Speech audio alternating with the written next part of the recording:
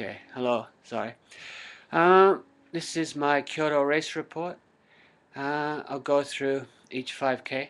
The first, uh, it was a beautiful day. As when we started, it was uh, like about five, four degrees, but not a cloud in the sky, almost perfect weather, and totally windless.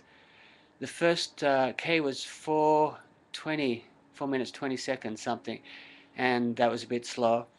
And although the first five was pretty much flat, the we I wasn't that fast. I think the first and first was about 1937 something. That's right.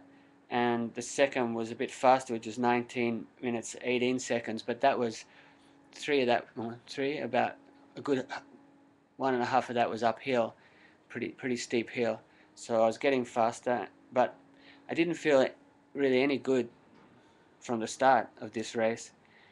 The second one was uh, 1925 and that was like up and down up and down. So I wasn't picking up too much speed as you see. The fourth 5k was 1924 not too much better.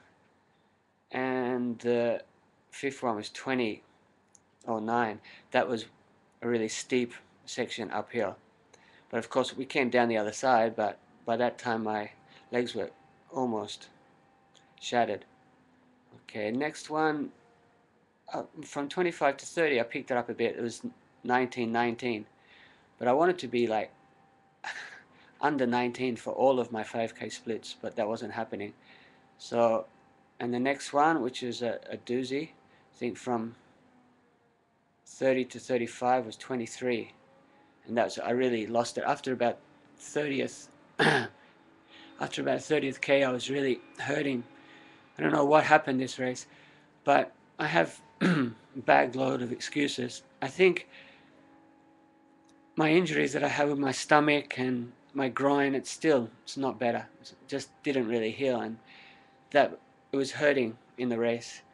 And um, I didn't tell you, but about three weeks ago, I was chasing one of my boys, just playing around, and I slammed against the door, and on my ribs, on the left-hand side, it really hurt, and that's just not at all healed. It's been, uh, I thought I cracked it, but I guess it'd be more pain, but it hurt to breathe, and, and it hurts me when, when I run, and even sitting down, especially when I'm getting up from sitting down. I really feel it hurts there. And that, I think that affected my whole um, gait and everything at the end. Because I was hunched, starting to hunch over and anyway, it was a bit of a nightmare race. But the course is beautiful, absolutely gorgeous course. If it wasn't so hilly, but I'd really like to run that in good shape again. Anyway, so uh, after the effort I put into training and I was a bit disappointed, you know, if I didn't run, now looking back at it, if I didn't run so slow in the last 10k, I could have at least PB'd.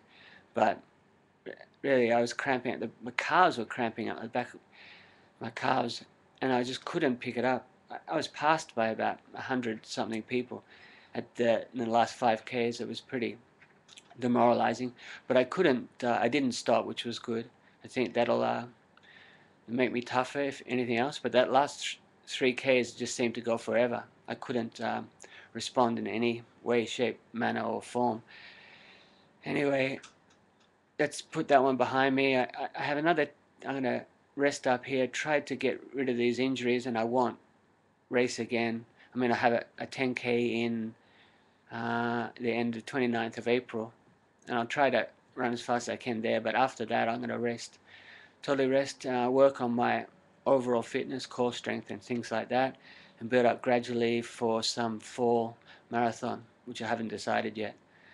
But I'm not uh, not giving up my uh, dreams of uh, reaching my potential. I think I've still got a good five years in me and if I'm patient and I look after my health and I train properly, I think I can do it. I think you've got to have these few races to um, humble you and then make you realize that it's not as easy as you think.